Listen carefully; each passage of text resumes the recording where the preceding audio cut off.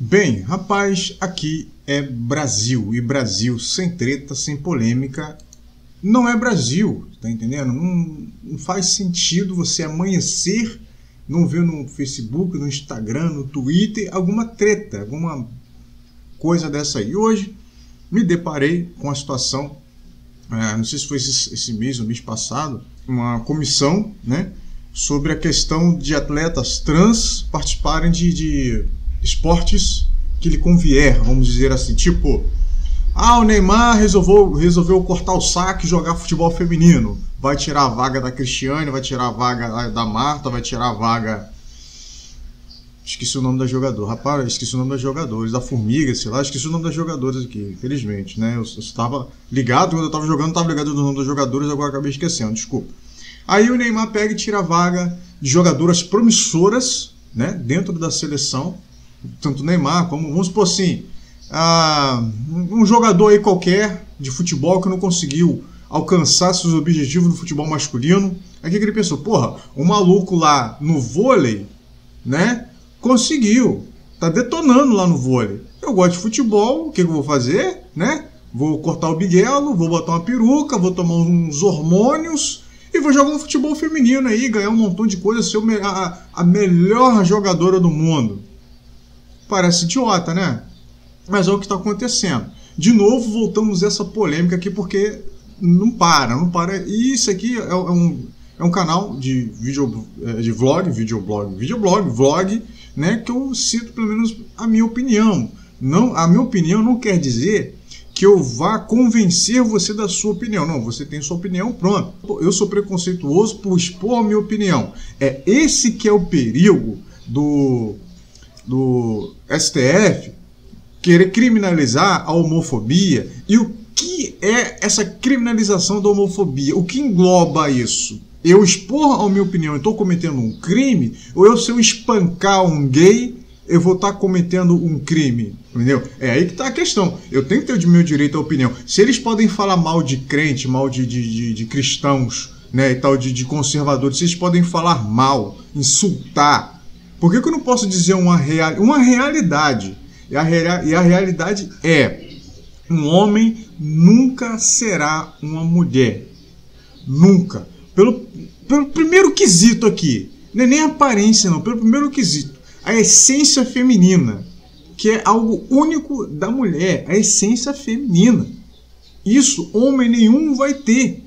Que isso é, é, é genética da mulher. Isso não existe. Não tem como você tomar hormônio feminino, diminuir sua testosterona e você tem lá a essência feminina. Não.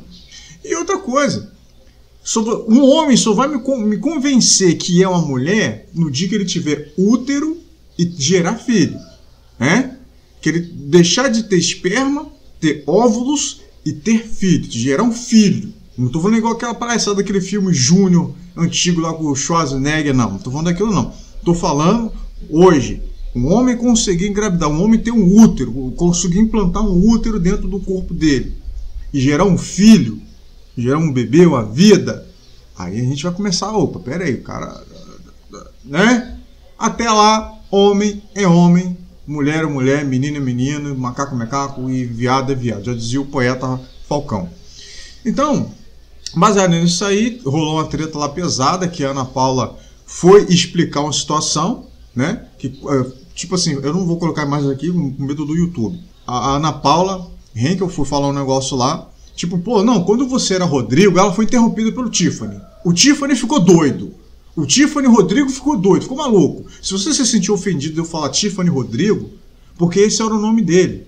Desde a adolescência, desde toda a vida dele, ele foi Rodrigo, né? Cresceu com testosterona.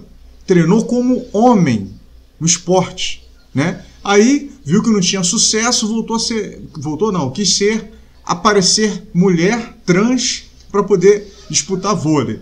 Vejam as partidas dele aí jogando vôlei. Vê se você acha justo. Bota a bola em jogo curtinha, Daisy recebeu Tiffany na pancada, diagonal dela, Thais Juma, lá de trás, Tiffany na pancada, Malu faz grande defesa, mas a bola acaba saindo em que disposição, Paquiarte, Tainan pra trás, em dificuldade, Malu bloqueio em cima dela da Tiffany, maior pontuadora do jogo de novo, Nanda, Tainan, chutadinha de bloqueio ali em cima dela, Capitão. Lá no fundo, Venegas, Juca Rede fazendo o levantamento com a Tiffany. Que pancada o que faz a Tiffany com a garota. Foram 15 pontos na estreia. Nas duas partidas seguintes, Tiffany evoluiu. Marcou 25 pontos contra o Pinheiros e 30 contra o Fluminense média de 23,3 pontos por jogo. Desempenho superior ao da oposta Tandara, do Osasco e da seleção brasileira, maior pontuadora da competição, com média de 19 pontos. Sempre foi uma, uma criança muito afeminada e sempre foi uma Sempre foi uma menina. Coração, pulmões, parte óssea e musculatura foram formados com produção hormonal masculina. Como a ação da testosterona, ela acontece no menino ao longo de toda a vida, desde a fase embrionária dentro da mãe, uh, quanto mais tarde se fizer uh, o tratamento hormonal para mudança de sexo, mais vantagens esse atleta vai apresentar. Porque a ação da testosterona ela vai fazer com que tenha todas essas formações diferentes do homem, como aumento da massa muscular, aumento do número de células vermelhas do sangue, aumento do coração e, consequentemente, quanto mais tarde se fizer a cirurgia, o legado dessa testosterona vai ser maior para o atleta. Ô Tiffany, o Rodrigo, Tiffany, né? Que jogava vôlei masculino, começou, começou a jogar vôlei feminino. Eu vou fazer uma pesquisa um pouco mais aprofundada e falar de atletas homens ou talvez até mulheres que mudaram de sexo para participar de esporte só para ter, né, uma visão, um aspecto melhor ali ter a sua carreira, né? Como eu estava até lendo ali, o Tiffany falou que ah, que eu jogava no esporte, que isso, aquilo, né? Eu sonhava em, em ter minha carreira e tal, que não sei o que. Fui jogar no esporte masculino e ele falou que eu era muito afeminado e tal, aquela coisa, que não sei o que. Aí resolveu virar mulher. Resolveu virar mulher. Aí, como vocês viram aí, como o cara joga, não tem como, velho. Não tem como. As, as próprias jogadoras reclamam disso. Aí então seria que falar, a Tiffany entrou no jogo, mudou a cara do jogo, seria hipocrisia minha falar que ela não faz a diferença no time porque ela faz. Todo mundo, né? Mas eu acho que se hoje ela tá autorizada, é uma questão complicada, porque como você falou, ela foi formada como homem, essa é a minha opinião. Ela foi formada como homem, mas hoje ela tem o direito. Dentro da lei ela tá no direito. Mas ela tem vantagens, isso é fato. É muito diferente, a força. Eu não joguei contra ela ainda, a gente vai jogar contra ela agora no final do mês, mas a gente assistindo os vídeos você vê que é diferenciado. Eu acho que se não existisse diferença entre masculino e feminino, a nossa rede teria 2,43, igual a deles tem. Mas assim, é uma situação que tem que ser discutida. Não sei te dar minha opinião se eu acho certo ou errado. Eu acho que é uma questão nova, mas ela tem vantagens, isso é indiscutível. Eu, eu seguro o braço, é, ela vem na habilidade, larga, tenta fazer, é, é, eu acho que de alguma maneira. Mas assim, chegando nos momentos decisivos, em que chega no final do set, ela vem um pouco mais forte, ela salta mais. Teve uma bola que ela veio no, na diagonal curta ali, que ela subiu na saída, eu vi praticamente meio peito ali e eu vi ela virando e Deu, deu medo, claro, mas tipo, a gente, eu, Tandara, não vou deixar transpassar porque eu quero ganhar sempre. Ela me deu duas bolas na diagonal em que eu fiquei muito brava porque eu poderia ter defendido. Porque eu, sei, eu, eu gosto de ser desafiada, eu gosto dessa, sabe, disso, mas enfim, é, não é a gente sabe que é diferente. Eu, a gente sente, a gente tá dentro de quadra, a gente sente. Eu respeito em alguns momentos ali na quadra, eu falei com ela, a gente brincou. Falei, ó, daqui pra baixo só, daqui pra cima não, que é caro pra soltar depois. Eu respeito muito, a gente se dá muito bem, mas a gente sabe que na hora do, da decisão, igual eu te falei, que eu senti ela, eu vi ela inteira. A Bia, querendo ou não, é um bloqueio de se respeitar. Então ela chegou inteira, ela soltou e eu vi ela inteira virando pra diagonal. A gente sabe que nesse momento decisivo, ela vai soltar mais fibra muscular dela é muito mais forte. Ela, o corpo é diferente é, de, de uma mulher. O quadril é mais fino, então ela vai saltar um pouco mais. É, durante a, a, puberdade dela inteira, ela cresceu com, com o desenvolvimento do sexo masculino. Então, assim, durante 30 anos foi assim. Então, o pulmão é maior, a musculatura é mais forte, é, ela respira um pouco mais, tem é, a, a... Eu tava vendo o canal do Negão e ele falou um negócio lá interessante. Ele falou assim: Poxa, Imagina aí se é a Marta, né? Resolve virar homem e resolve jogar no seu time de futebol e arrebenta. Você ia reclamar? ver com outra ótica. Você ia reclamar?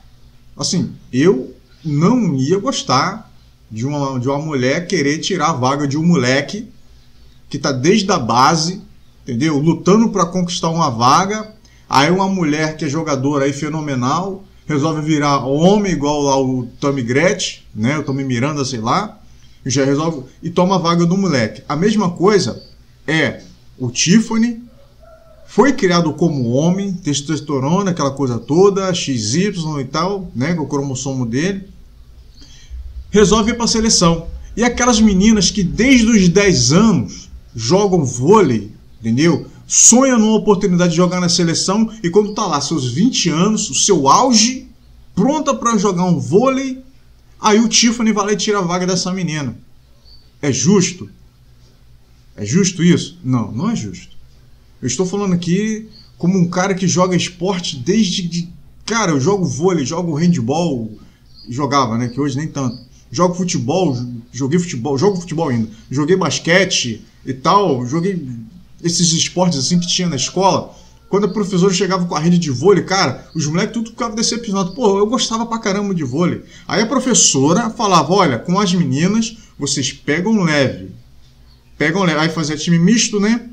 Uma, duas, três, quatro meninas para cada time e tal. Botava os moleques lá com a coisa. Pegam leve com as meninas. A professora falava. Ou o professor. Pegam leve com as meninas que elas não têm a mesma força que vocês. Um professor de educação física falava isso. Aí os moleques, não, os moleques podem sentar a bola na cara dos moleques lá e se vira. Senta a bola na cara do maluco lá e os caras se viram pra lá. Entendeu? Aí com as meninas a gente pegava leve, mais para as meninas brincarem também. Porque não adiantava a gente dar aquele corte forte e as meninas não conseguiam pegar a bola. Aí a gente jogava, que jogava bola para as meninas para pegar. Não é coisa, não é covardia, não é machismo. É para ter brincadeira, para a gente participar do esporte ali. Enfim.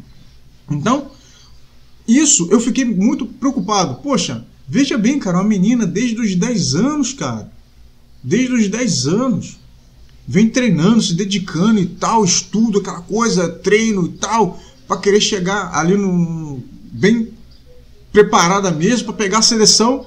Aí vem o Tiffany e quer jogar na seleção. Aí ele não aceitou, o Tiffany, o outro adendo aqui, o Tiffany, o Tiffany Rodrigo não aceitou, né? A, quando a Ana Paula disse, pô, cria uma liga trans. Não, que não pode, que não sei, eu vou jogar contra quem? Pô, montaram um time só de transexual. Você pode montar um time, pode montar um monte. Pega esse montão de travecão transexual e monta uma liga.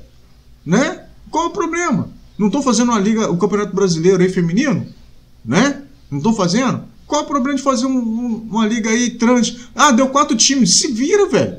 Aí você vai querer entrar dentro do esporte feminino roubar o protagonismo da mulher, que a mulher lutou para ter o seu espaço, aí vai um homem e tira o espaço dessa mulher. Você está entendendo? O raciocínio? As mulheres demoram para conquistar os seus. Cadê as feministas para defender as mulheres? As, as, feministas não vão defender as mulheres porque elas compactuam com essa questão do, do homossexualismo, LGBT, que é tipo Horiug e tal. É, é, elas né? Elas não vão, elas vão ficar neutra, vão ficar neutra nisso aí. Não vão defender a mulher, ainda mais se a mulher fala que é conservadora, né? Não vão defender a mulher e vão se omitir a questão do, do, do homem tomar a vaga da mulher, né? Aí você vê que o feminismo não serve de bosta nenhuma, entendeu? Só mesmo exceção de saco. Então, fica mais um vídeo aí para vocês. Né? Espero que vocês tenham entendido o raciocínio, que isso aqui não é homofobia, não é preconceito nem nada é ciência, é biologia. O homem nunca será uma mulher, por mais que tome hormônio, bota silicone, faz isso, bota dentadura, bota peruca, bota não sei o que, corta o bilau fora, nunca será uma mulher. Uma pelo uma, a essência feminina, que é única da mulher. E outra, o útero. Útero é o que difere. O homem da mulher é o útero e o escrotal. Se você cortar o seu escrotal, o problema é seu. Mas você não tem útero, então você não é mulher. Né? Então essas questões aí, né, ditas, é, que eu digo cientificamente, ah, fizeram um estudo que você isso, você aquilo e tal, tem gente que fala, ah, você é burro, você tinha que ter estudado mais. Pô, eu estudo para fazer esse vídeo aqui, eu estudei, eu li, entendeu? Então, é a mesma coisa de eu fazer um estudo teológico que vai me favorecer religio, religio, religiosamente. Religiosamente. É a mesma coisa eu fazer um estudo é, é, é, como é que foi? Ih, esqueci. Teológico. Se eu fazer um estudo teológico, me favorecendo.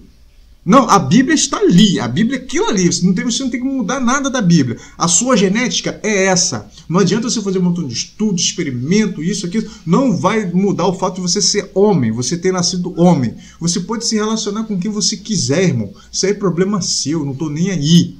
Entendeu? Ah, quer se relacionar com homem? Quer se vestir como mulher? Problema seu. Agora, você entrar dentro do esporte feminino, roubar o protagonismo das mulheres, aí você está errado.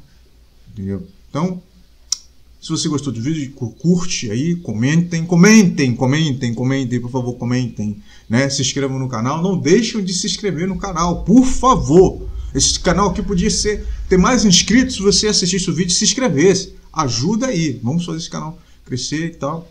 Fica com Deus e até a próxima. Valeu, rapaziada.